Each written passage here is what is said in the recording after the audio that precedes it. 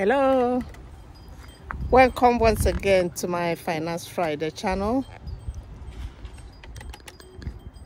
Life tips with pat.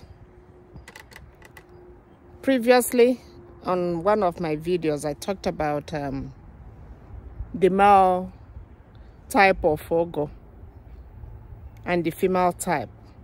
So what i'm holding here now comes from the male part of ugu. This is what we, we call Mbeleba. If you look at it, it looks more like a bell.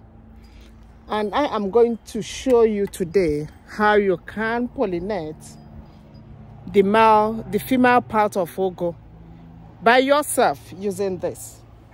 So I'm going to put this down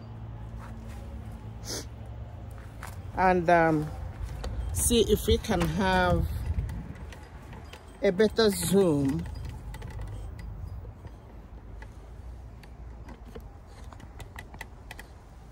Of this.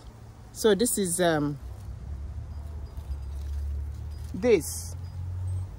This what you are seeing here now is the female ugu. So what i'm going to do is i'm going to take only one of this um of this uh mbaleba and I'm going to remove the white petals. I will remove all the white petals. Having removed the white petals, I now expose the pollen that is inside here. See the pollen? This red one. And that's where the nectar is. So naturally, the pollination would have taken place by an insect. The insects would have done the pollination for us. You know, but sometimes the insects do not succeed in doing all of them. So if you don't want this one to go to west, you have to do the pollination yourself. And that's what I'm going to try to do now.